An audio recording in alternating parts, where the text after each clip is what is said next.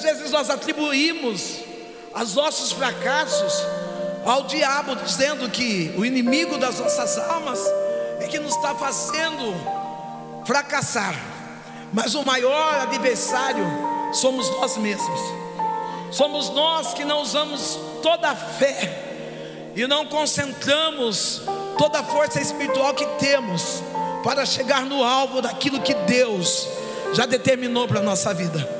Procrastinamos para conquistar as nossas coisas. Todas as manhãs, quando nós levantamos e falamos, ah, é muito cedo para levantar agora, eu não tenho nada para fazer.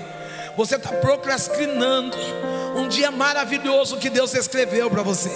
Você está deixando para trás de viver o novo de Deus, de conquistar as coisas novas de Deus, porque você já levanta com o pensamento de que aquilo será um dia normal, de que todas as coisas serão do mesmo jeito, de que nada vai acontecer e quem sabe é hoje, quem sabe é agora, quem sabe é o momento que Deus escolheu para que acontecesse aquilo que você tanto espera realizar na tua vida. Filipenses, essa carta, ela nos dá uma visão ampla do Evangelho. Eu esqueço as coisas que para trás ficam, e eu prossigo para o alvo. Se você ainda não saiu do seu lugar e não chegou em lugar nenhum, é porque você não esqueceu o que ficou para trás. Você está parado, esperando que aconteça algo. E só acontece a partir do momento que você se movimenta.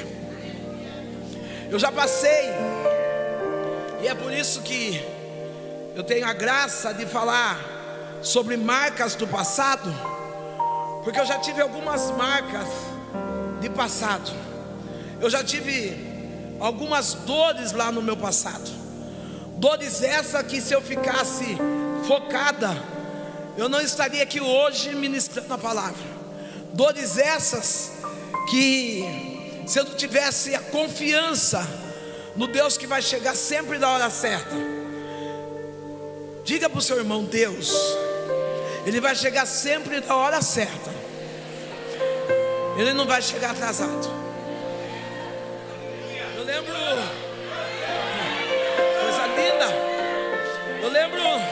oh, aplauda Jesus então.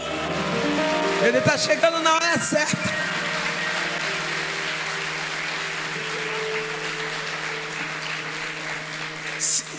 Ó, oh, não é sendo chata, mas se a minha água for gelada, dá uma quebrada nela para mim, porque senão eu não dou conta. Não é medidez, não. É, é só para dar conta mesmo. Eu tenho algumas marcas. Nós vamos falar hoje, nós vamos dividir essa mensagem em três partes. Eu vou dividir a mensagem primeiro, chamado passado. O passado ele é especialista a nos levar à depressão. O passado ele é especialista, independente se foi um passado ruim ou bom, ele nos faz sentir depressivos. Porque quando nós a lembramos ou trazemos a nossa memória, o passado bom numa época difícil de hoje, nós dissemos assim: Poxa, eu já fui feliz, eu já tive um bom carro, eu já tive um bom casamento, e quem sou eu hoje? Marcas do passado, que só traz depressão. Eu fui uma criança, uma criança que passou por caminhos que eu não desejo que nenhuma criança passe. Eu, dia desses, Deus me trouxe a imagem, a lembrança, e eu, eu creio que quando Deus me trouxe, Ele não me trouxe para ferir, mas Ele trouxe para resolver. Tem lembranças que Deus traz dentro de nós, que não é para nos ferir, mas é para resolver aquela questão. Eu lembro que eu, quando criança, com oito anos de idade, a minha alegria, o meu divertimento, era acordar pela madrugada com a minha mãe e ia abrir túmulos de cemitério para fazer despacho. Eu lembro como criança que os passeios que eu tinha eram madrugadas encruzilhada, fazendo oferendas para demônios. Eu me lembro na minha infância que a minha casa estourou. Eu morava num cortiço. Cortiço é o local onde várias casas no mesmo quintal. Isabela chegou. Então fica preparada para o final, tá bom, Isabela? Se tiver um lugar para minha amiga aí, vocês dão para ela. Vem aí. Tem uma aqui, vem cá, Dani. Quando estourou esse vazamento, esse, esse esgoto na minha casa, foi aberto uma valeta no meio da cozinha. Eu passava muitas necessidades, tanto física, tanto sentimental e principalmente espiritual. E quando essa vala foi aberta no meio da cozinha da minha casa, a minha mãe, meu pai, eles, como criança, me levavam à feira para nós catarmos as sobras da feira, catarmos as sobras dos lixos das pessoas mais abastadas de dinheiro. E eu lembro que aquela vala aberta na cozinha, eu olhava para o cocô das outras pessoas que passavam, e eu via couve, eu via beterraba, eu chorava. E eu dizia assim, mãe, não é o nosso cocô, porque eu não comi couve hoje. A gente dá risada hoje, mas como é dolorido ser pobre. Não, você não é pobre, você é milionário. Porque você tem um pai que ele é dono do ouro e da prata. Você pode estar passando por momentos difíceis, mas você não é pobre, você não é miserável, você apenas está sendo treinado para viver o melhor dessa terra. Aquela pobreza era uma pobreza tão dolorida. Gente, eu pedi água sem gelo para servir um negócio amarelo, um suco, alguma coisa. Ah, quando chegar, vocês aplaudem. Vamos, vamos ficar metido aí. Vamos fazer alguma coisa chique aqui para dar impacto. Se não for para mim, passou vergonha. Agora vai ter que trazer. Agora vai ter que trazer, né? Olha, olha, olha.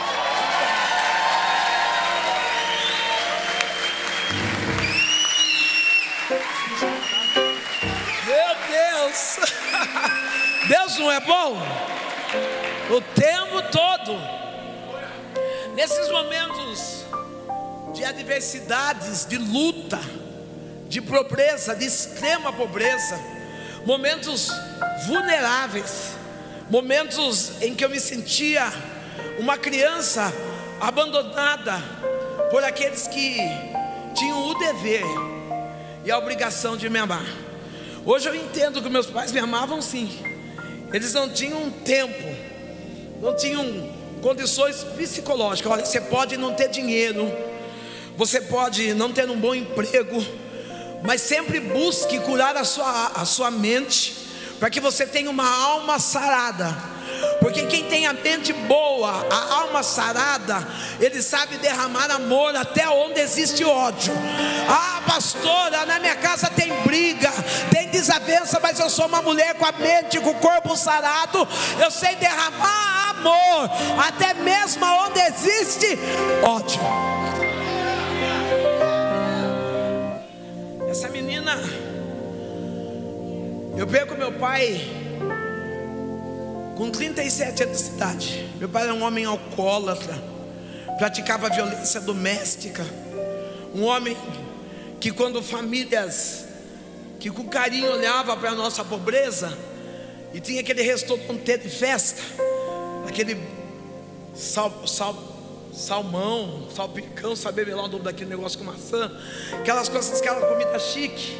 Quando chegava na minha casa, meu pai era tão ruim que ele via aquela comida chique, ele evacuava na comida, para eu e minha mãe não comer. Meu pai fazia xixi na jarra, colocava na geladeira para nós pensarmos que era suco.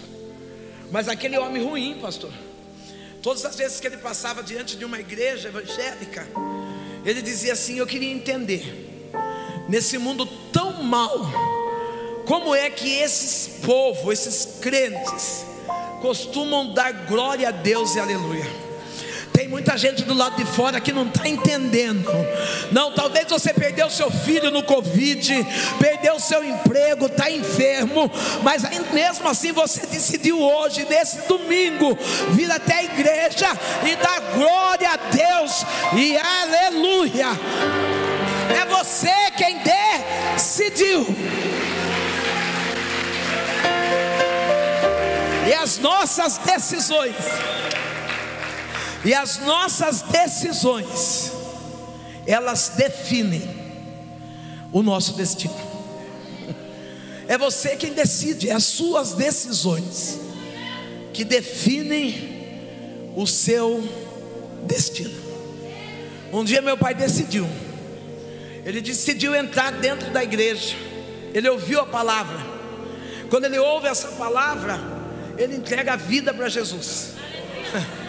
Ei, não é possível você estar aqui e talvez você veio só para ver a Sandra Alves. Não, você veio ouvir uma palavra que vai mudar a sua vida, que vai mudar a sua história. Ai, a sua fé não vem por aquilo que você vê, mas a sua fé vem por aquilo que você ouve, guarda e acredita. Meu pai ouve, e a palavra foi essa: Eis que eu, o Senhor teu Deus, vou te preparar um lugar. Ele ouve e entrega a vida dele para Jesus. Quando ele chega em casa contando essa novidade para uma mulher ruim, macumbeira, para uma mulher alcoólatra, essa mulher ela humilha o seu esposo. Ela pega a Bíblia que está na mão do meu pai, bate no meu pai, profere palavras de baixo escalão e diz assim: crente aqui dentro de casa, você não fica, pode ir embora.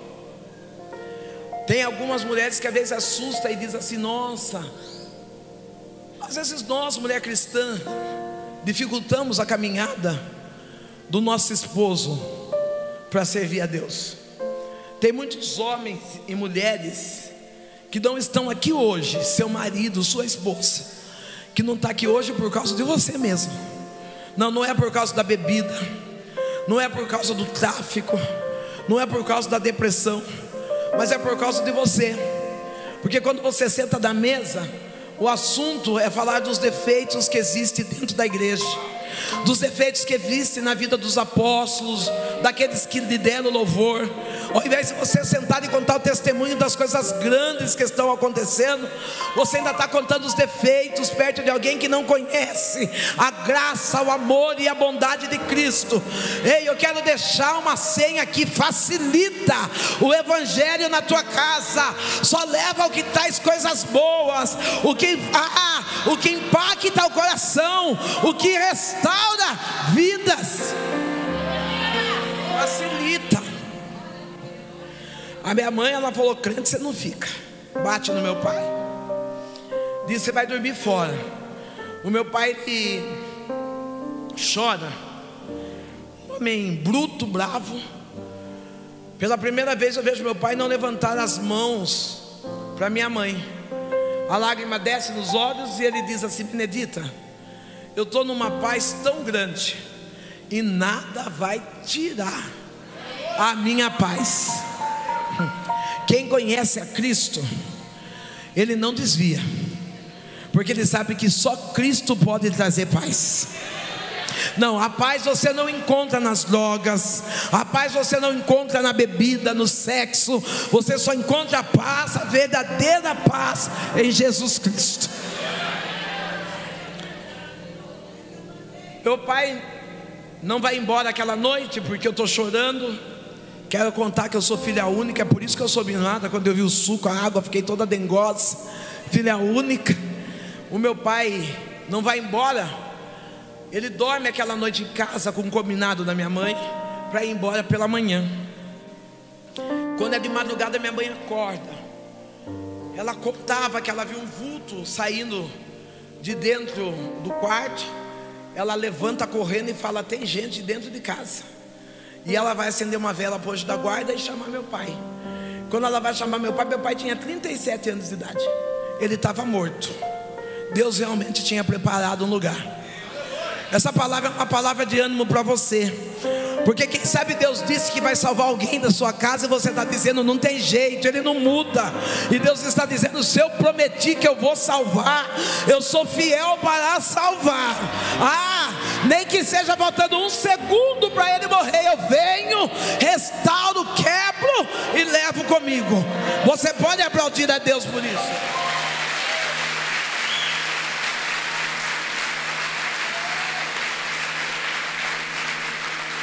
Deus é suficiente para fazer isso. Fica duas mulheres, eu estou no passado e já vou vir para o presente. Eu tenho, fica duas mulheres, duas mulheres não. Fica uma mulher e uma menina. Uma menina enferma, enferma nas emoções, enferma na falta de comunicação, de diálogo. Uma menina brava, briguenta sem educação. É o que sobrou para minha mãe. Essa menina é eu. Eu cuspia na cara da minha mãe, eu batia na minha mãe. Eu me esperneava, enfrentava minha mãe de igual para igual. Às vezes, apóstolo, nós olhamos algumas crianças enfrentando o pai, batendo, mandando, e a gente pergunta: eu não sei quem puxou. Puxou a gente mesmo. Porque os nossos filhos são reflexo daquilo que nós somos em casa. Eu tenho um neto que ele é um nojo. Você fala assim, eu falo assim, eu venho, eu chego toda animada e falo, olha o meu neto. Ele vai, é a mãe dele. Aquela risadinha como quem diz, sabe? Fala nojo. Mas é dele. Em compensação, eu tenho uma Sandrinha lá que se ela tivesse aqui agora, ela estava aqui do lado e tem fogo no olho, nos olhos, pulando. Reflexo meu. Seu filho é o que você é dentro da sua casa. Seu filho não é igual à sua sogra, não é igual sua mãe, seu pai, é, ele é o que vê dentro da casa. Eu era o que eu via dentro da minha casa. Eu via um pai que batia, um pai que agredia, um pai que xingava, eu entendia que a linguagem do amor era aquela. Eu não sei qual é a linguagem de amor que é dentro da sua casa, mas que seja o diálogo, que o celular seja tirado da mesa, que tenha a mesa posta que tenha presentes, que tenha elogios. Não como é bom quando nós recebemos palavra que nos eleva. Não chega de dizer para aquele homem que ele é um fracassado, que ele é um Zé Ninguém. Não, começa a elevar o coração de alguém dizendo: Olha, você é, você pode. Ah, Deus tem coisas grandes para a sua história. Seja um agente motivador para a vida de alguém. Uma casa ruim, e nessa casa ruim, as coisas boas atraem coisas boas. E as coisas ruins atraem coisas ruins. Nessas coisas ruins, eu conheci o dono do mercado. Eu comecei no mercado primeiro com 10 centavos. Cruzeiro, eu sou do tempo do cruzeiro, gente. Dá dó falar, né? Porque vai descobrir na idade da gente as coisas, né? Ontem eu queria falar um desenho animado, eu falei a Pantera Cor-de-Rosa. A mulher falou, nossa, ela tem quase 60 anos. Eu falei, não, fiquei com vergonha. Falei, meu Deus, estou velha mesmo. Eu ia com um cruzeiro nesse mercado, e esse cruzeiro eu acho que não dava para comprar nada. Hoje, criança de 8 anos é uma criança diferente, né? Eu falo que as crianças de hoje nem piolho pega. Eu vivia com piolho. Não, eu nunca sentei no colo, sentei minha neta no chão para catar piolho. Eu ia para a escola, já voltava com o cabelo. Daí para matar piolho, minha mãe usava aqueles pente quente, não. Não conta que você conhece, esquenta no fogo, tch, os piolhos saíam pulando. Hoje não tem mais, né? Hoje é chique, hoje é chapinha, a chapinha vai clec, clec, clec, clec e mata os.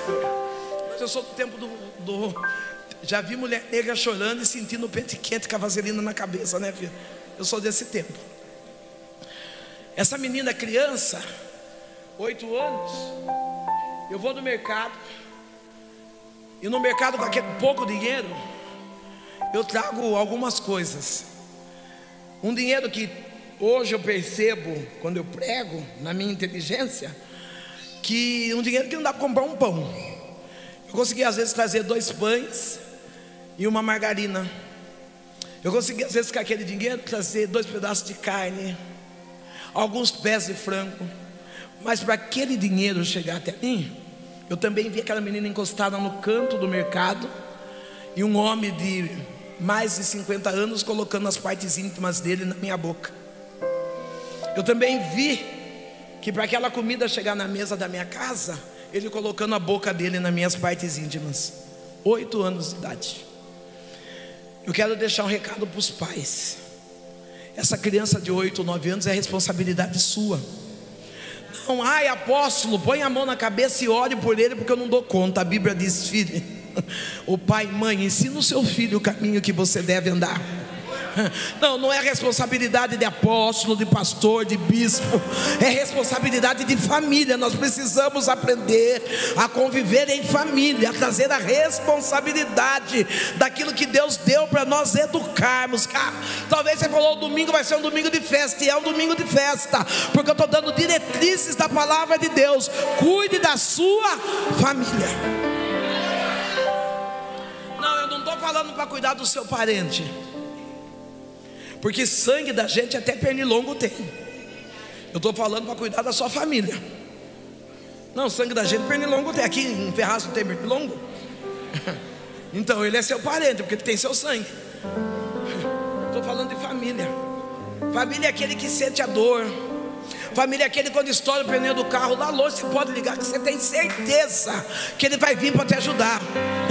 Família aquele que você não vai ter medo de dizer, ó oh, cara, eu estou numa pendura, eu estou com uma vontade de comer carne e eu não tenho 10 reais. Ele fala, toma aqui, vamos fazer no cartão de crédito.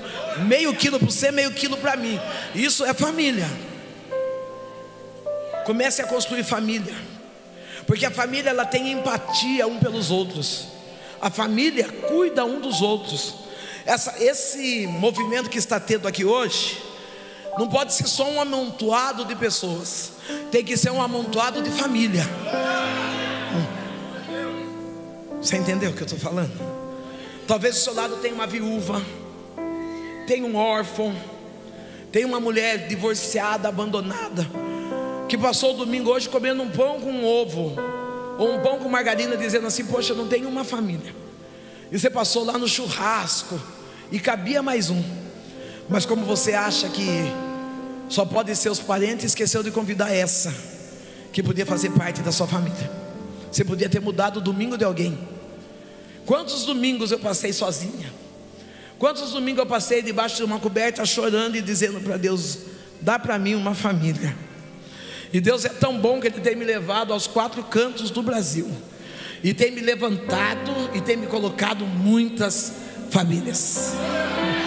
Eu tenho família japonesa, loira, tenho família de tudo quando tem uns, tem uns top que são meu parente, gente, uns brancos chique, que eu falo só dá eu. Tudo minha olha, já ganhei uma família, olha a loira magnâmica, já tirei até foto com ela. Família. Aquela criança está sendo liciada, está sendo estrupada e a mãe não está vendo, a mãe não está sabendo. Sabe por que a mãe não está sabendo? Porque na minha casa não tinha diálogo, na minha casa não tinha conversa. Se eu chegasse com um lápis diferente em casa, você roubou. Eu apanhava e tinha que devolver o lápis, sendo que nem roubado eu tinha. Às vezes é troca de amiga com amiga. Aprenda a conversar com seus filhos. Dê oportunidade dos seus filhos confiar em você. Dê oportunidade, porque às vezes o pai e a mãe não dá oportunidade do filho confiar. Não, dê, não permite que o filho erre. Ei, seu filho é humano, ele erra. Pare de fazer comparações. O filho de fulano é maravilhoso, é maravilhoso porque não é seu, não mora na sua casa. Ele é cheio de defeitos como o outro. Tudo que a gente não tem é maravilhoso mesmo. Não dá com a gente. Tem pessoas que são infelizes porque estão preocupados com as coisas dos outros. Ei, tenha cuidado, às vezes a grama do vizinho é artificial. Então rega a sua. Cuida da sua. Trabalha para ter crescimento a sua. Ei, tem uma mulher, eu sou profeta, pastor, não tem como escapar disso. Relibiacho derribe, sei. A senhora pode. Ela mandou. Relibiande soubia, reliou de que refaz. Enquanto eu estou falando de família, Deus está dizendo: diga ela que eu estou quebrando um coração endurecido dentro da casa dela. Relibiou de que renoube a sirra. Não, não sou eu a primeira profeta a dizer que vai salvar. E Deus está dizendo: Eu só trouxe aqui para reafirmar a promessa que eu tenho sobre a tua casa. Eu vou quebrar o coração endurecido e vou transformar a história da sua família. Você pode aplaudir a Deus, você pode exaltar, você pode dar aleluia, você pode bendizer ao nome santo do Senhor, que está quebrando o coração endurecido para escrever a história de uma família.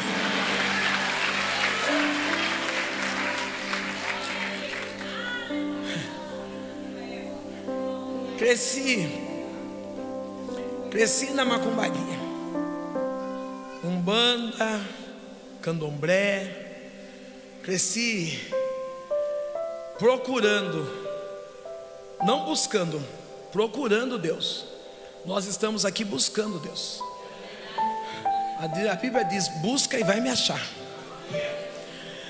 Esses dias eu disse assim: às vezes nós começamos a procurar Deus em lugares, e Deus, Ele pode estar em todos os lugares. Deus cabe em todos os lugares. Pastora, Deus cabe na, na Umbanda, eu vou provar para você que cabe. Deus cabe no bar?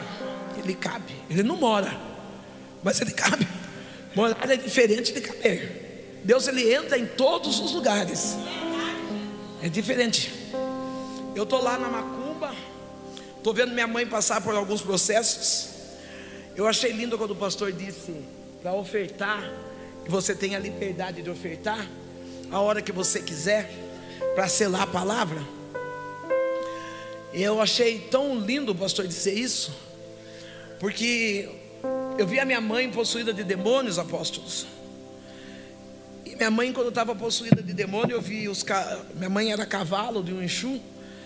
E eu era cambono desse Exu. Eu que servia esse Exu. Cada pessoa, cada cavalo no seu terreiro, tem a pessoa certa que vai trabalhar para ele, que, que já conhece o que come, o que bebe, o que veste. É treinado para isso. E eu era cambono do guia da minha mãe. Eu vi a minha mãe no chão toda torta, os cambonos escarrando no chão, a minha mãe possuída de demônio lambendo aqueles carros. Eu vi galinha passando, minha mãe pegando a galinha viva, rasgando do dente e bebendo sangue daquela galinha. Minha casa era uma casa de sacrifícios a demônios, constantemente.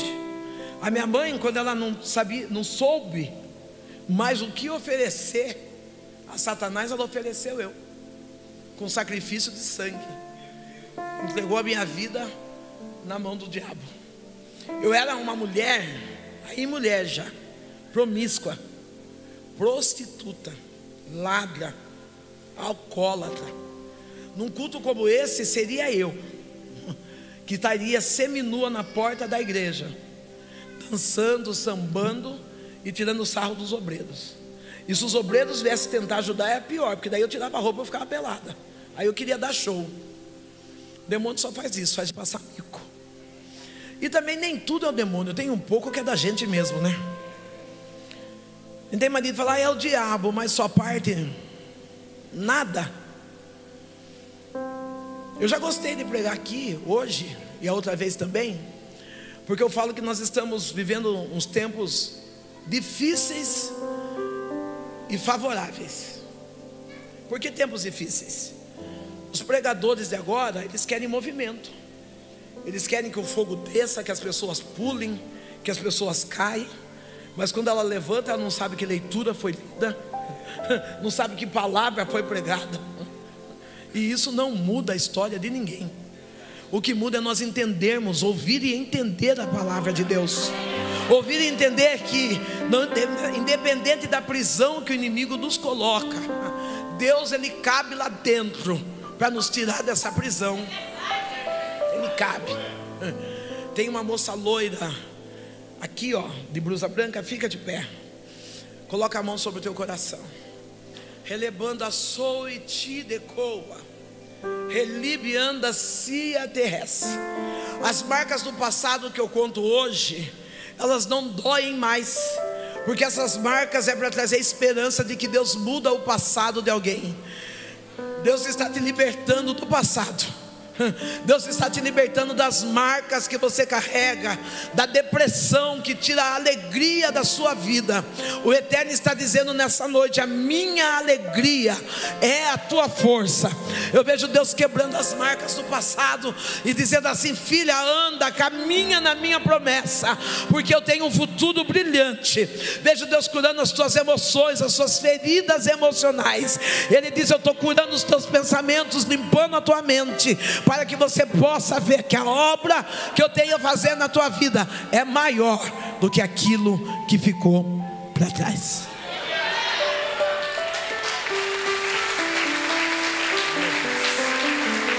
Glória a Deus. Aleluia. Passado. Passado deprime, passado dói. Passado tira força. Passado para alguns, tira a fome. Eu nada tira minha fome. E a turma, as pessoas saem no Covid, eu não tinha paladar. Eu tinha. Eu choro e como, eu dou risada e como. Estou sofrendo comendo, está tá tudo certo. Isso aí nada me atrapalha, não. Eu acho chique. Ai, pastor, eu estou numa prova tão grande que eu emagreci 15 quilos. Nem inventa, filho. Com prova sem prova é 115 firme ali, ó. Vamos comer. Passado de depressão, de dores, tristeza. Uma mãe não reconhecida como mãe. Uma criança não tendo a oportunidade de viver a sua infância família crescendo destruída. A minha mãe, naquele terreiro, fez um pacto de sangue, entregando meu corpo a um Exu. E a partir daquele momento eu não podia mais ter intimidades ou relações sexuais, fosse com homem ou com mulher. Mas à noite, toda noite, os demônios vinham me visitar e mantinham relações sexuais comigo. Eu acordava com mordidas, com unhadas, com marcas de sangue no meu corpo, porque eu sentia os espíritos demoníacos vindo me visitar. Relibiou de Kira, relide soe, relide andecou de Sira. Houve uma guerra travada entre o céu e o inferno por causa da tua vida. Relecou de Ayachou de Sir, se fosse ver, ela para você não está nem viva. Daqui, choi. Mas Deus chegou e comprou a guerra e disse: O que é meu eu resgato. É que isso é por isso que sai esse sorriso, porque quando tu está no altar, você entende que o laço do passarinheiro foi quebrado e que Deus te escolheu para realizar uma grande obra. Alamandocaia chou de si rebácia. De cai rechou de descia. Deus diz assim: as marcas que tu carrega do passado não foi para tua vergonha, mas é para Deus manifestar a dupla honra.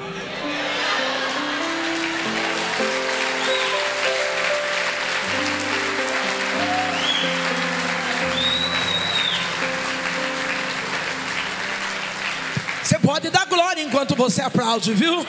Você pode dar aleluia enquanto você exalta o Senhor. Você pode. Minha mãe, estou eu possuída de demônios, numa vida rasgada, numa vida acabada, e distrações, porta de igreja. Aos domingos, quando não tinha nada para fazer, porque quando nós não servimos a Jesus, nós somos desocupados. Talvez você fale assim: olha, eu tenho tantos compromissos. Tem bastante gente que tem compromisso aqui? Não é assim? Tem dia que parece que a segunda-feira a gente até olha para dar uma esticadinha para dar tempo de fazer tudo, né? Porque a hora passa depressa e a gente ocupado. E aí vem o pastor e diz assim: Olha, você que vai ser líder de, de jovens, você que vai comandar aquela célula, você fala: Meu Deus, eu estou tolada de serviço. E o pastor vem inventar, é porque Deus não tem negócio com desocupado. Deus só tem negócio com ocupado. Não, Deus não tem negócio com vagabundo, com quem está na rede preguiçosa para deitar. Deus só tem negócio com aquele que está ocupado, que está trabalhando, que está envolvido, que está fazendo. Deus ele vai até facilitando a vida da gente quando nós entregamos mais para Ele. Ou relíquia ou de ou de. Se tem uma coisa que me preocupa é quando Deus manda entregar palavras para sacerdote. Alguns pegaram umas armaduras, e quando eu digo pegaram armaduras, eu digo se dispuseram não foi nem o Senhor que escolheu. Chegaram aqui e disseram assim, pastor, pode deixar que eu toque esse teclado. É forte o que Deus está mandando falar para o Senhor, eu vou falar do jeito que Ele está mandando. Outros disseram assim, pastor, pode deixar que eu faço a mídia da igreja. Se ofereceram. E hoje não estão aqui. E nem tiveram coragem de voltar e dizer: Olha, nós vamos sair. E isso machucou o coração, porque o Senhor disse assim: Eu confiei o altar, eu confiei louvor, momentos de, de adoração, e eles não tiveram coragem de voltar. E quando passa, ainda está falando mal da tua casa, da tua família, está batendo boca, aí Deus está dizendo assim: É porque eles são covardes como Saul. Eles podem até saber lutar, mas não têm a integridade de Davi. Relebando-se, renécia de que refaça. Deus está dizendo: não chore por aqueles que abandonaram no meio da obra, mas comece a sorrir agora por aqueles que ficaram, porque os que ficaram são leais e vão contigo até o final dessa obra. Se você acredita, aplaude. Se você acredita, exalta. Se você acredita, bendiga ao Rei da Glória. Só se acredita. Não, porque tem gente que é covarde. Tem gente que é covarde e se oferece. Deixa comigo que eu faço. Aí depois larga como se não tivesse compromisso nenhum. E passa e ainda fala, larguei mesmo. Deus está dizendo: Eu estou trazendo pessoas leais. Relíbia soube. Olha aqui para mim, príncipe. Relido cai echouve. Eu vejo um tempo novo. Sabe quando vocês chegaram agora? Requidio de faiso. E tudo que é novo traz medo, traz insegurança. E às vezes a vontade é, não estou falando em desistência, voltar para trás. Eu acho que vocês são de outra cidade chegaram faz pouco tempo. São de outro bairro. Eu não vejo vocês Ferraz e Vasconcelos. Eu vejo vocês em outro ambiente. E aí eu vejo você querendo arrumar a mala. E dizendo, vamos voltar. Vamos para lá, lá tem, tem socorro, tem pai, tem mãe, tem socorro. Deus está dizendo, não. Fica aqui. Fica no lugar porque fui eu que trouxe. Eu não trouxe num oba-oba, eu não trouxe para quebrar, eu não trouxe para envergonhar, fui eu que trouxe para fazer de novo. Não, o tempo que Deus colocou vocês aqui nesse espaço é Deus restaurando sua casa, sua família. Já era para aliança estar tá quebrada, porque muitos olharam e disseram: Ah, ele é moleque, ah, ele não tem maturidade, você não precisa passar por isso. E Deus está dizendo: É eu que estou restaurando a casa, é eu que estou restaurando a família. Eu trouxe para esse tempo de restauração para a sua história.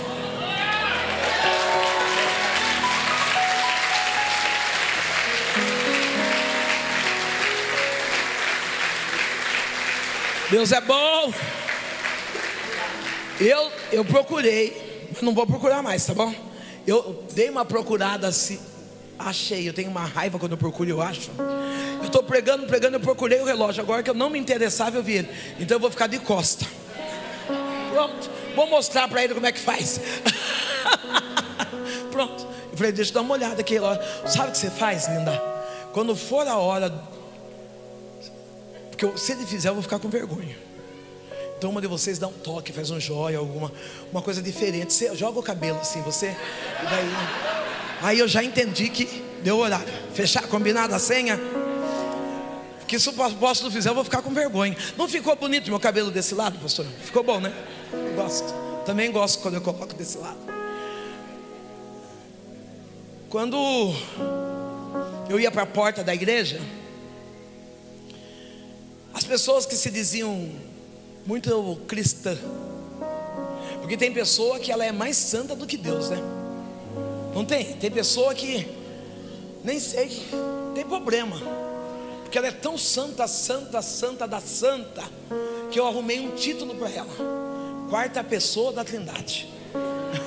Eu arrumei, porque é muito santo, tudo é pecado, tudo está errado, só Ele é o certo, só Ele sabe, só Ele faz.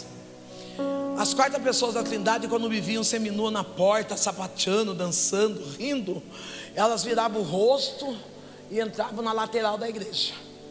Mas Deus levanta uma menina de seis anos de idade para olhar para essa serva de Deus que está aqui no altar.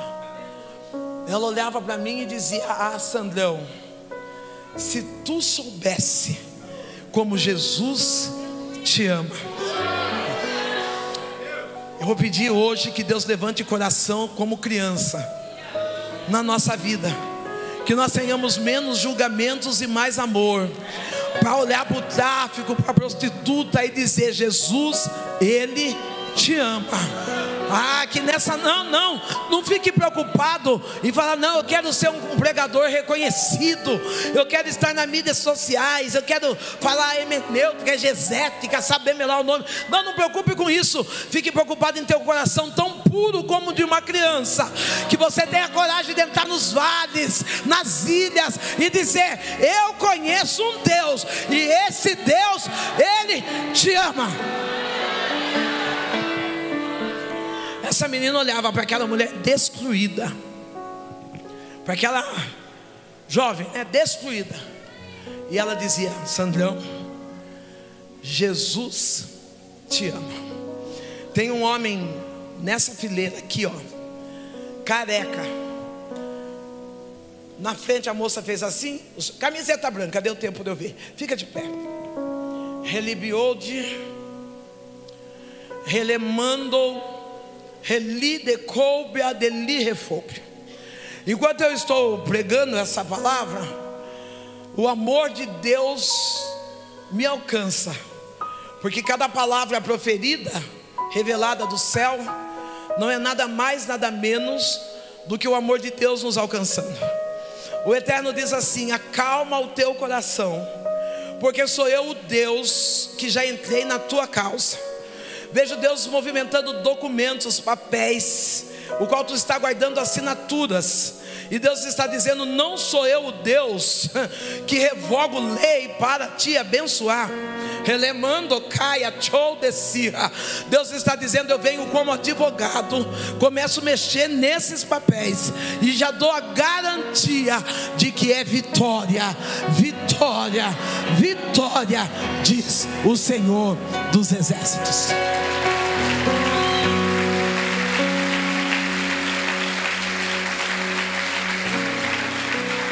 Aleluia. Deus o poder. Relemando-se que noe, alamando-se a chove que ni refaz. Alguém tem uma Bíblia preta? Porque a minha tem um monte de ouro, comum. Se achar, alguém achar dele. Se não achou, Reli de Kenir. Eu estou vendo uma pasta fechada preta, com muitos papéis dentro. Papéis, esses até velhos, ou melhor, envelhecidos. E Deus diz assim: Ele sentou na cama, abriu e olhou essa pasta. E quando olhou essa pasta, veio algumas memórias de uma restituição, porque tu foi roubado. Relemando tequila Relido si rebaia chode rebando. E o Eterno diz assim: Eu não fico devendo nada para ninguém. Ele começa a mexer nesses papéis, desses papéis e equalizar, igualar aquilo que foi roubado. E ele diz: está chegando o conserto e restituição para a tua vida financeira. O ladrão não vai ficar com aquilo que é teu. Não, você está pensando que é ladrão, não, o governo não vai ficar com aquilo que é teu. A empresa vai ter que avaliar e vai falar assim: não, eu preciso aceitar. Está tendo reparação, está tendo retorno, está tendo restituição.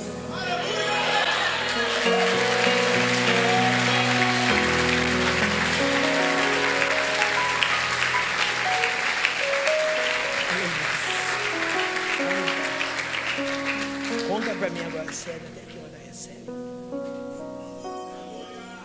Tá, tá, tá, tá. Quando falar com mulher é assim, viu, filha? Não sei porque eu não fui falar com ele. Esqueci que eu sou mulher. Ela falou assim para mim que eu posso ir até meia-noite. O pastor que ficou meio mole falou: melhor ir até as 5 para meia-noite só. Mas deu tudo certo. Quanto tem 10? Quem tem mais 10 minutinhos para mim? 10, ó, em 10, 20, 30, 40, 50. Ah, pastor, vai dar para dar vigília. Olha quanta gente tem 10 minutinhos para mim. Eu tô lá e aquela menina, ela não está olhando para a sujeira minha. Ela está olhando para um amor, para uma pessoa que precisa do amor de Cristo. Todos nós precisamos do amor de Cristo. É necessário sermos amados. Um essa menina chega em casa e ela chega sorrindo. Eu morava muito próximo à igreja. E ela chega sorrindo e ela diz assim: Sandrão, vai ter um culto lá na minha igreja. Eu falei: É. Ela falou: E o pastor disse que quem levar uma visita vai ganhar um presente. Eu falei: Que bom. Ela disse: A minha visita é a Sandrão. Eu olhei para ela. Se eu fosse crente, eu dizer para ela: O sangue de Jesus tem poder, menina. Eu sorri e falei para ela assim: ó, Vamos fazer um combinado nós duas. Eu só vou na sua igreja o dia que você for na minha.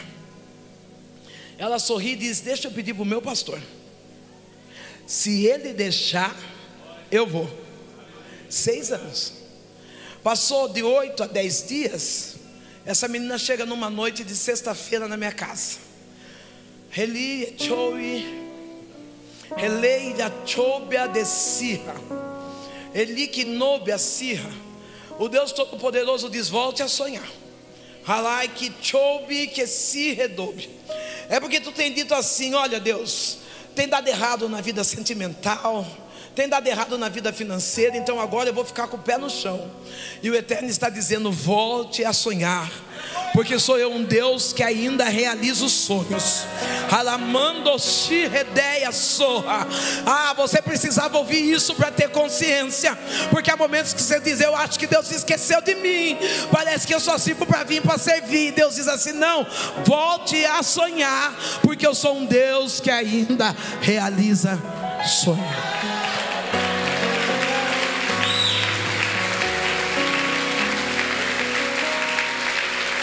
Oh, aleluias.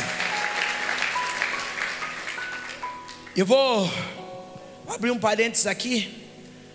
O senhor fica de pé. O senhor fica de pé. O senhor fica de pé. Eu, o senhor estava com o bebê no colo. Se tiver alguém que puder segurar o bebê para o senhor, só um pouquinho. Eu não quero atrapalhar, mas eu preciso que o senhor fique de pé.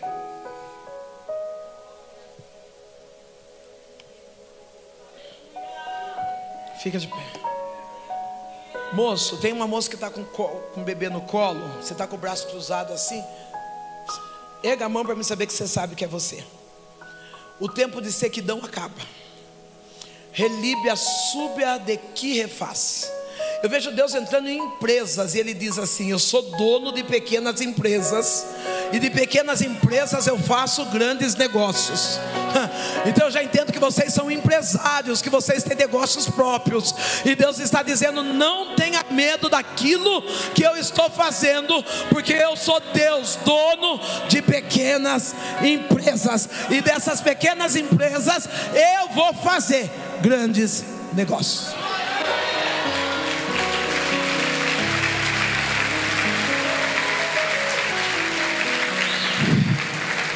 Se eu fosse mais nova, se eu fosse mais nova, eu estava aqui para falar contigo. Mas se eu sentar aqui, eu não, não tenho força para levantar, vai ficar feio. Então eu vou fazer aquilo que eu posso. Seu pai e sua mãe não têm dinheiro para pagar a faculdade que você sonha. Você tem consciência disso. Mas Deus está dizendo assim: você esqueceu que eu sou o seu Deus? Você esqueceu que eu estou vendo a sua fidelidade? Eu vejo você fora do país. E Deus já preparou famílias para te guardar lá.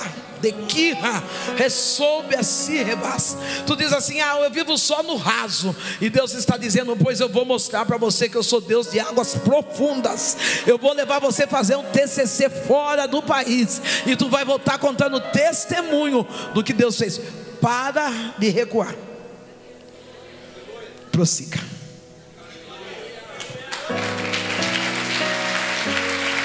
Pensou que ia falir, né, filho? Deus é dono dessa empresa. Quando deu esses dias, a menina apareceu com a Bíblia em casa. Seis anos de idade, um toco, vestidinho, meia calça, a Bíblia na mão.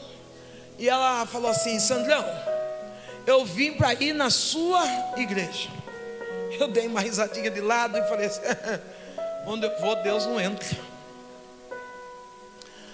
Pego ela, minha mãe, que é mãe de, de santo daquele terreiro, e nós vamos, noite de sexta-feira. Para quem já frequentou o candomblé, tenha consciência que a noite de sexta-feira é a noite maior, é a noite onde, segundo reza a religião, onde os demônios têm mais autoridade para trabalhar. Você é um privilegiado. Se eu quebrar, daí você se levanta uma oferta e paga, porque ninguém veio me ajudar.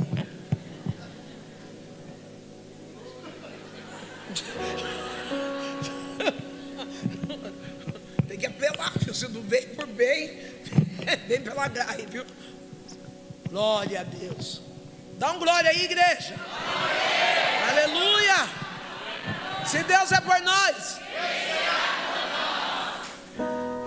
Aquela menina, nós, graças a Deus, que hoje nós não precisamos de um Deus que trabalha de sexta-feira. Nós temos um Deus que trabalha todos os dias da nossa vida.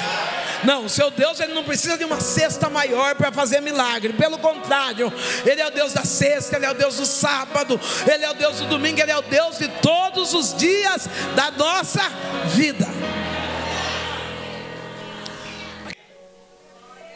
Enquanto aquela criança está comigo, ela está indo para o terreiro, nós vamos conversando. Chega no terreiro, ela fala para mim: Eu vou com você no terreiro. Eu falei: Você vai? Ela falou: Vou. Porque o meu pastor disse para mim que o próprio Deus iria. O meu pastor garantiu que Deus vai comigo. Eu dei um sorrisinho, saímos, fomos para o terreiro. Chegamos no terreiro, coloquei ela no primeiro banco. Entramos, colocamos as roupas, as guias, os patuás, começamos a bater tabaco, jogamos pólvora no chão, pegamos o charuto. E quando abre a cortina, eu percebo que ela se coloca de. que ela estava de joelho e ela senta. Eu percebo. E ela senta e fica olhando para nós. Enquanto ela está olhando para nós, nós estamos batendo tabaco, estamos lá fazendo o chamamento dos guias e nada. Chama uma vez, Chama duas vezes.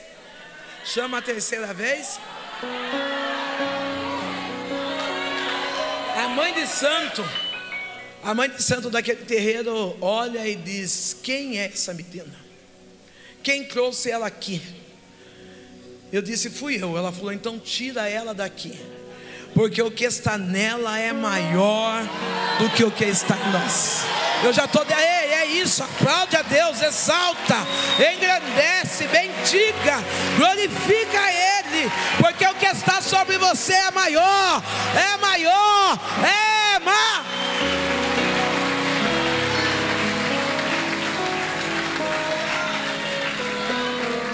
É por isso que a Bíblia diz que sobre a nossa casa, nenhuma ferramenta contra nós vai prevalecer.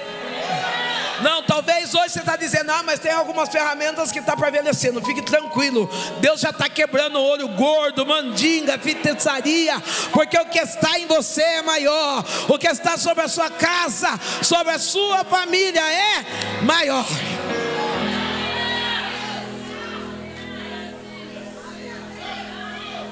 Só que tem uma receita aí. E eu tenho que dar receita. Ela disse: Eu vou pedir primeiro para o meu pastor. Obediência. Para de ser uma andorinha sem direção. Anda no caminho reto.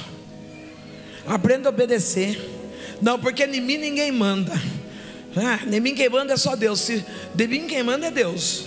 Mas eu tenho um líder que ora por mim, que intercede por mim, que muitas das vezes nos meus momentos de dores que eu não tenho força para guerrear em oração, é Ele quem ora e guerreia as minhas causas.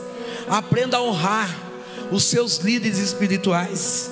Aprenda a honrar os apóstolos, os pastores. Invista.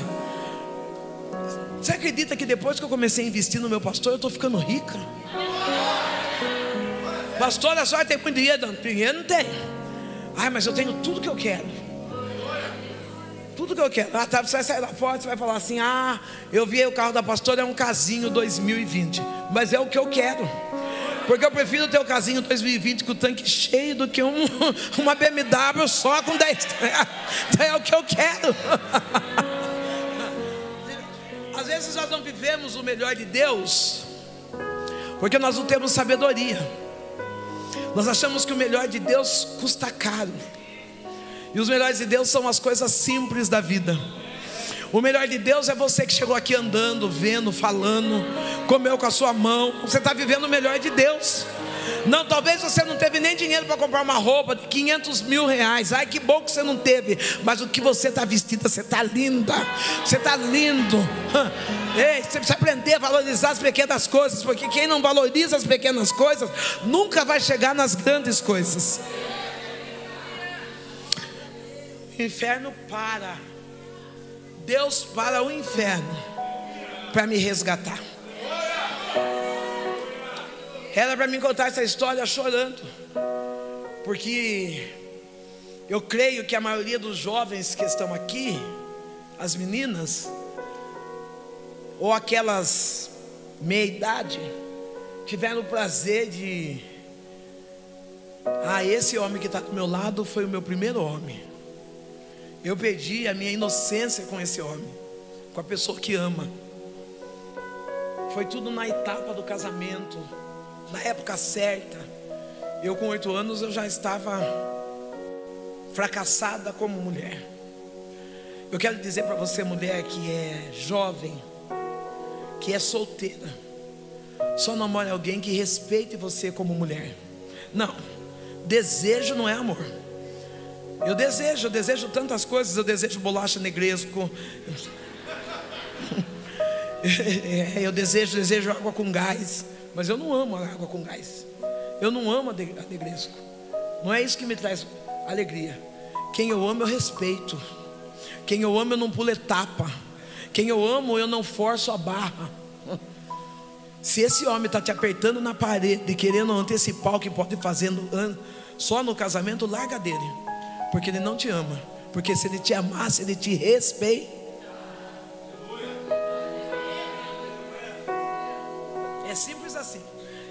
Até para senhoras.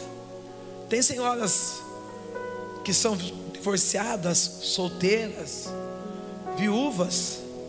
Não, para com esse negócio, é, mas a gente já tem entrado na idade madura, o namoro tem que ser mais liberto, mais livre. Não, o meu namoro tem que ser santo. Não, quer namorar comigo, aqui não tem delivery, não. Pá, pega e vai e come, não. Aqui tem que comida caseira, em casa. Você casa depois você faz o que você quiser. Delivery não. O corpo nosso é, do, é consagrado a Deus. Eu falo brincando, mas eu ensino, viu? Leve, tranquilo, não precisa ofender ninguém. Passado curado, passado curado tira de nós a depressão. Deixe Deus curar o seu passado. Pastor, ai, mas eu já fiz campanha, eu já subi um monte, eu já fiz jejum. O apóstolo já colocou a mão na minha cabeça, já ungiu. Não sai, mas não sai mesmo. O passado sai com terapia, sabe? O passado sai rasgando a alma, procurando. Não, às vezes Coitada da apóstola, essa mulher linda, empoderada. Pensou, ela chega na porta da igreja, no culto vem você com essa cara de maracujá, azedo, derrotado. Apóstola, estou cheio de problema. A apóstola fala: estou orando, filha. Não, vai procurar um psicólogo. Ah, então sofra. Então sofra. Então, marque horário e ó, aproveita. Que se a minha, a minha pastora é juíza, eu não posso nem errar, porque senão eu vou preso. Eu acho que eu vou mudar para cá. Ótimo. E que bom que no nosso meio, posso falar, pastor? Posso falar? Que bom que no nosso meio está levantando mulheres, mulheres, pastoras, mulheres, homens, que estão trabalhando com saúde mental. Né? Que hoje existem psicólogos, terapeutas, para alinhar-nos com a vontade de Deus. E qual é a vontade de Deus? Ela é boa, ela é perfeita e ela é agradável. Eu sou do tempo que a gente estava louco, surtando, rasgando dinheiro. E a pessoa ficava colocando a mão na gente, dizendo que ele estava endemoniado. Não, era só uma psicóloga cuidar de mim. Era só mostrar o caminho. Era só me direcionar. Quantas coisas eu fiz ser pesada, pesada, que não precisava dava para ter sido do outro jeito. Então não seja preconceituoso. Aceite ser cuidado. Aceite ser tratado. Aceite ser amado. Eu venho para o presente. O presente, eu entreguei minha vida para Jesus. Quando eu entreguei minha vida para Jesus, Deus curou a minha alma Deus curou a alma da minha mãe. Eu ganhei minha mãe para Jesus. E eu posso hoje no altar dizer: eu tive o privilégio de dizer, eu e minha casa servimos ao Senhor. Nesse presente, eu passei muitas dores, não, porque é mentira daquele que prega sobre a sua vida depois que você encontra Cristo, que você vai viver só facilidades e felicidades. No mundo tereis aflição mas ter de bom ânimo, porque Deus ele venceu o mundo. Não, não, é bom ânimo, não é cara amassada, não é dando coice nos outros, não é ficando separado das pessoas, é estando animado mesmo, é levantando a mão, dando glória, é contribuindo, é abençoando, porque Deus ele venceu. Eu tive dores, tive decepções, tive marcas dentro do Evangelho, mas eu tive uma mãe, uma mulher empoderada em Deus, que ela dizia para mim assim: Filha, aceite ser tratada, porque aquele que fez a ferida, ele mesmo vai sarar. Quanto mais provas você tiver, mais oportunidade você vai ter de brilhar. E eu entendi. Num dia de muitas perdas, de muita desgraça, servindo a Deus, eu perco pessoas. Eu dizia que eu perdia pessoas, eu dizia que eu perdia amigos. Amigos a gente não se perde, os verdadeiros amigos sempre serão amigos. Se essa pessoa deixou de ser seu amigo, é porque ele nunca foi seu amigo. É simples assim. Não, ai, fulano virou a cara para mim, ele nunca foi seu amigo. Nem chora por causa dele. Porque tem pessoas que eu fico anos sem ver, mas quando eu encontro, a gente conversa tão naturalmente que parece que acabamos de ver aquele dia. Verdadeiros amigos. Uma outra receita: amigo do seu inimigo, ele não é seu amigo. Preste bem atenção nisso. Amigo do seu inimigo, ele não é o seu eu passo por essas dores, nas dores eu perco, perco pessoas, perco bens, mas o maior bem que eu perdi foi a minha mãe. Eu chego em casa, minha mãe diz que ela recebeu uma revelação que ela ia morrer. Ela passa mal, nós vamos até o hospital. Ela vai internada, e quando chegamos lá, uma mulher que estava bem, lavando louça, comendo bebê. Chegamos lá, o médico disse: Sua mãe está com metástase. Não tem lugar no corpo dela que não tenha câncer. E ela falou: Filha, eu não disse que eu vou morrer. Eu falei: Mãe. Ela falou: Eu sonhei com um homem de branco. Esse homem de branco vinha encontrar comigo. E eu falei assim: Ah, eu não posso morrer agora. E esse homem de branco falou, olhou para mim e falou: Ela disse para o homem: Eu preciso cuidar da minha filha. E esse homem disse: Não, da sua filha cuido eu. Você vem comigo. E minha mãe no meu colo, abraçada e eu chorando, ela disse assim: Eu vou dar duas receitas para você.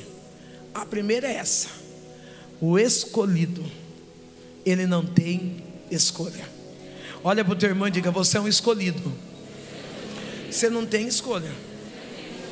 Pode parar com esse charminho. Olha, hoje você é que vai ficar na porta. É você que vai dirigir o louvor. É, ai, hoje não, não estou bem. Ai, eu briguei com o marido, meu filho está com febre. Não, você é escolhido. Você não tem escolha. Para com esse charminho. Ai, eu vou esperar ficar tudo bem para mim fazer. Você não vai fazer nunca. Então você é escolhido. Você não tem escolha. A segunda receita que a mamãe deu para mim foi: carregue a sua cruz, não arraste. A luta é sua, o problema é seu. Se Deus deu problema é porque você tem capacidade para resolver esse problema. Então segura ele. Segura ele no joelho, segura ele na oração, segura ele na obediência, segura ele usando a psicóloga, segura ele, segura ele. Usa as leis bíblicas para de ter espírito de vitimismo. Ninguém me ajuda. Ajuda você primeiro. Quantas vezes eu dei o melhor de mim para os outros e só dei o pior para mim? Quantas das vezes sapato, perfume, presença para as outras pessoas e esquecia de cuidar de mim. Primeiro, não vamos espiritualizar, porque a gente sabe que primeiro é Deus. Primeiro eu. Primeiro eu vou cuidar de mim. Primeiro eu vou ficar com as minhas emoções alinhadas. Eu vou fazer uma escova, eu vou fazer minha unha. Não, carregar a cruz requer elegância. Para com esse negócio de vir com roupa manchada, cabelo desmanchado. Não, fica chique. Pastora, mas eu estou na prova, ainda vou me arrumar. Quanto mais. Eu vou mostrar um negócio para vocês aqui no final que vocês vão gritar. Hum, mas só no final. Quanto mais chique você fica, mais o inimigo, o inimigo fica pirado. Ele fala: Eu estou provando, ela está desempregada e está descarpando. Não, não, o carro dela fundiu o motor e mesmo assim ela pegou um Uber e veio. Deixa ele pirado. Eu subia no altar, eu não tinha dinheiro para comprar sabonete, materiais de higiene, de comida, não tinha. Eu cortava o sabão pelo meio. Hoje eu, eu vejo eu cortando o sabão pelo meio, eu falei, ainda era é burra. Porque em vez de cortar pelo meio assim, para ficar compridinho, né? Cortava pelo meio assim. Oh, meu Deus, até para passar a prova não tem inteligência. Seja inteligente, filho. Passa a prova com sabedoria. Eu cortava o sabão, tomava banho de sabão IP e passava óleo soia no corpo. Eu chegava no culto, eu era brilhante, gente. Pensa numa negra brilhante, puro óleo soia. Mas eu ia. As pessoas olhavam, eu chegando, porque se hoje, se hoje, hoje, hoje, nós entrarmos numa prova, Roupa a gente tem, né? Vai no armário da apóstola para você ver. Vai nos armários de umas mulheres e tem roupa que dá para abastecer a igreja inteira da sobra, no meu. Então ninguém nem percebe a prova do lado externo, porque as outras estão do lado de dentro. Então eu ia bem arrumada, ia com a minha perna negra brilhosa. Talvez alguém dizia, olha o serve, balsar é soia. Mas começava tudo com essa. E Deus falou para mim: se você ficar em Jerusalém, eu vou te honrar. Hoje, apóstolo, Deus disse para mim assim, no finalzinho da minha prova, Ele disse para mim: Você é seu marido. Eu falei, eu não quero. Ou por que, que eu falei que eu não quero? Na hora quando Deus falou, você é seu marido, eu falei, o que marido? Os homens pegam bem essa senha. Marido da bolsa. Marido da sapato. Marido da creme. Marido da batom. Né? Eu não tinha nada disso. Eu falei, eu vou querer marido pobre? Não quero. E Deus falou, eu vou ser o seu marido. A partir daquele dia, nunca mais eu comprei um perfume, um creme, um sabonete, nada. Eu só tomo banho de, de natura e boticário, gente. Meu marido, ele me dá. Rico.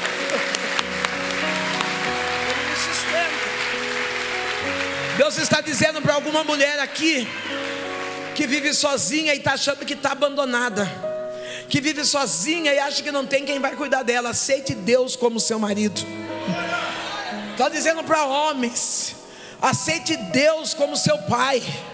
Ah, pastor, eu não tenho boa lembrança de pai. Deus é um pai maravilhoso. E a partir do momento que ele te assume, você assume ele, ele arca com as consequências e cuida de você. Deus cuida de mim de uma forma ímpar. Ele cuida. A partir daquele momento a minha história foi virando. E a minha mãe disse: carrega a sua cruz. Eu fui carregando minha cruz. E é por isso que hoje eu estou aqui. Se eu tivesse parado no meio do caminho, eu não teria tido a oportunidade de ministrar essa palavra. Se eu tivesse ficado na área do conforto, que é a área do vitimismo, quando nós nos fazemos de vítimas, para qualquer coisa que nós olhamos ou pessoas, tudo é melhor que nós. Nós olhamos para nós e dizemos: somos um fracassados, eu não tenho nada eu não nasci para vencer. Saia dessa área de vitimismo. Levante hoje, homem. Levante hoje, mulher. E se reconstrua. Tem que começar por você. Não é pelos outros. Mas não comece amanhã. Comece hoje. No meio, eu deixei o vitimismo do lado. E no meio, com dores, eu ia pregar. E quando eu ia pregar, eu sentia o meu corpo desfalecendo, a minha mente com flashes de esquecimento. E quando eu me deparo, eu estou com uma doença chamada alopécia nervosa. Eu fico careca. Eu perco todos os pelos do meu corpo. Nessa prova, nessa meia prova, Deus diz para mim assim: Filha, eu vou te honrar. Eu vou mudar a sua aparência eu vou restaurar a tua história e vou te dar uma cadeira no legislativo. Eu falei, Deus, o que, que eu vou fazer com cadeira no legislativo? Eu estou precisando de sabonete. Falei, vamos conversar, uma oração consciente aqui. Estou precisando de sabonete. Mas Deus ele tem muito mais do que aquilo que a gente precisa. Diga, meu Deus ele tem muito mais daquilo que eu preciso. O meu neto, hoje, hoje eu tenho uma outra visão, eu entendo. Então eu explico para ninguém pensar que, que, eu, que eu sou boba. O meu neto ele pediu um drone para mim de presente. Drone infantil. Porque hoje eu sei que tem esses drones que filma por cima da igreja, filma a cidade da gente, né? Eu sei disso aí. Um drone, um drone. Era caro, mas não é um caro desse que eu acho que esse aí é caro. Eu fui e comprei esse drone para ele em 10 vezes, suaves prestações de 10 vezes. No dia do Natal eu tenho o drone para ele, porque lá na minha casa eu tenho um tratado com meus dois netos.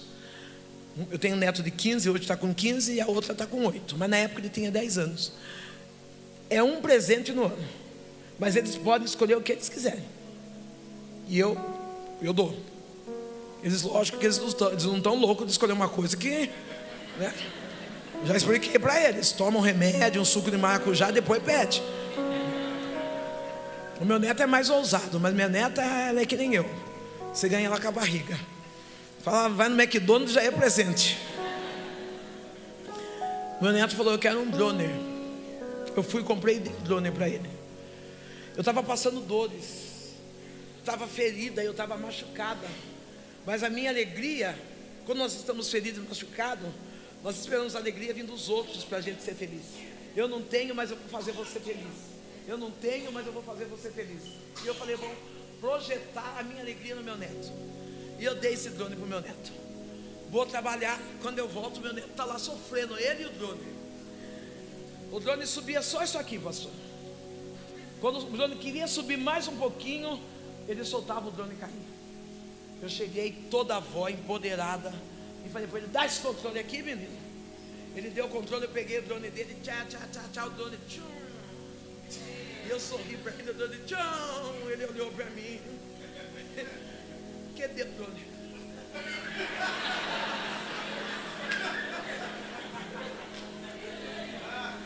Sumiu.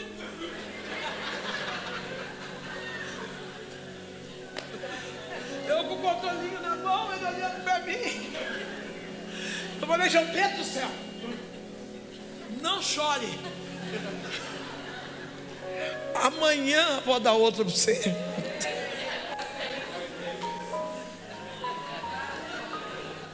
Ele olhou, fez assim e foi dormir. Outro dia cedo eu na loja e compro mais um drone de 10 suaves prestações. Só que com esse drone eu agi diferente. Eu dei na mão dele e eu não olhei mais. Eu não abri a caixa. Se, se perguntar para mim a cor do drone, até hoje, eu não sei. Eu entendo que isso que é entregar na mão de Deus, né? Falar, está entregue. E quando meu neto chega em casa, ele vê o profeta dizendo: Eu vou mudar a sua aparência, eu vou fazer isso, vou fazer aquilo. E quando ele chega em casa, eu estou na fase de transição. Eu na fase de transição eu usei turbante, usei peruca. Tem alguns que me conhecendo com peruca. Eu usei peruca. E aí eu estou um dia chorando com a minha peruca. Lá no canto, meu neto está jogando bola. E ele sai de lá do campo jogando bola, vem correndo e fala: Vó, eu tenho uma palavra para você. Eu de joelho chorando, falei: Estava jogando bola, filho. Ele falou: Eu tenho uma palavra para você. Eu falei: Pode falar. Do jeito que eu estava, eu só virei assim. Ele falou: Sabe qual é o problema da avó? Eu falei: Qual, João Pedro? a senhora não deixa Deus segurar o controle. Não importa se a senhora está voando alto ou baixo. O que importa é onde está o controle. Ei, querido, Deus está falando comigo para você. Talvez você está voando até baixo, mas Deus está dizendo: o controle da sua história está na minha mão. Não, não, não passa o controle da sua história para a mão de outro. Não passa o controle da sua história para a mão de vereador, de prefeito, de governante. Deixa o controle na mão de Deus, porque Ele sabe a hora certa que você tem para voar. Quando meu neto falou aquilo, eu tirei a peruca, me vesti de Deus e falei: se Cristo comigo vai, eu irei. eu, te, eu assumi o ministério da itinerância, Deus me conduziu a esse ministério. Quem me acompanha sabe que eu tenho um sonho. E qual que é o meu sonho? Quem, me, quem já me ouviu fala que eu tenho um, um sonho de criança.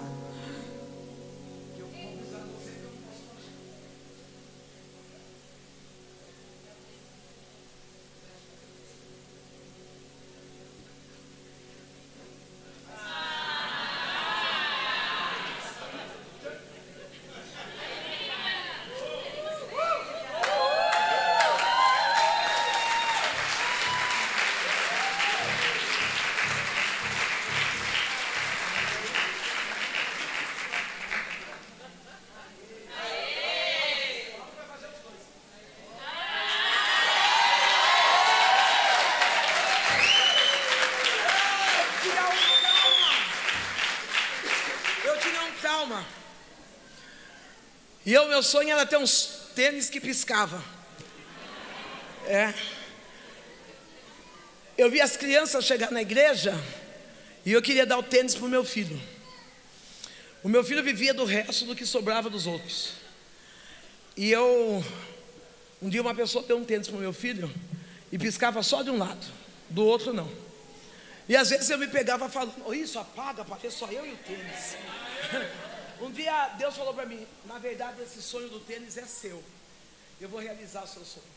E Deus me deu um sonho, um tênis que acende e apaga. Sabe o que eu estou falando para você? Deus nunca vai chegar atrasado. Se Deus chegasse com esse tênis há 10 anos atrás, eu não teria coragem de subir no altar e falar: meu sonho é um tênis que pisca. Deus primeiro sarou eu por dentro para viver as minhas conquistas. Deus vai te sarar primeiro por dentro, para você poder celebrar suas conquistas do lado de fora.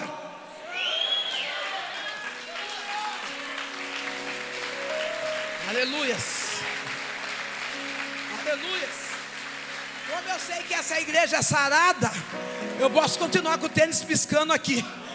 Não, porque tem igreja que é enferma e vai dizer é meninice, é criancice. Não, isso aqui é dizendo: Deus não vai chegar atrasado, Ele vai chegar no tempo certo. E o tempo de eu viver isso é hoje, é aqui e é agora.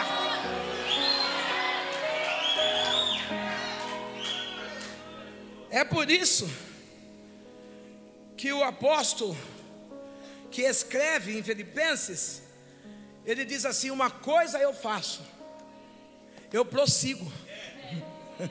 Você vai ficar parado até quando? Você vai, enquanto você não tem aquilo que você quer, você vai ficar parado? Ou você vai prosseguir para o alvo? Você vai ficar se fazendo de vítima? se auto se destruindo, se machucando com palavras, se trazendo um complexo de inferioridade a você. Não, não. Você vai levantar é hoje. Você vai dizer a partir de hoje, ah pastora, mas a senhora está com quase 60 anos usando tênis que brilha. Eu sou feliz. Se Deus me desse um tênis desse com 50 anos, eu não ia usar porque eu estava magoada, ferida. Eu estava traída, enganada. Estava vivendo um relacionamento doentio. Eu não tinha alegria na alma. Ah, não é o tênis que traz a minha alegria. O que traz alegria é Deus cumprindo promessas. O que traz alegria é que no meio de todas as dores e fracassos que eu vivi, eu consegui prosseguir para o alvo que é Cristo. Ei, querido, qual é o alvo que você veio buscar nessa noite? O seu alvo vai ser ficar chorando, tomando antidepressivo, procrastinando, trazendo espírito de autopiedade a você, ou você vai se levantar, dizendo: Eu estou debaixo de uma promessa. Enquanto a promessa não chega, eu vou caminhando, eu vou adorando, eu vou exaltando e eu vou bem dizendo ao nome santo do Senhor Jesus. Eu já quero trazer Isabela aqui perto, vem cá, Isa.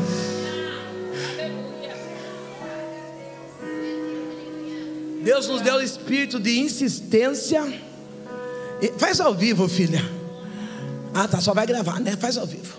Deus nos deu o espírito de insistência e resistência. Só vou contar para você que a lamparina já Porque eu roubei isso. Deus nos deu o espírito, diga, Deus me deu. Espírito de insistência e resistência. Porque não basta só insistir. Porque quando nós iniciamos as coisas, nós iniciamos animado.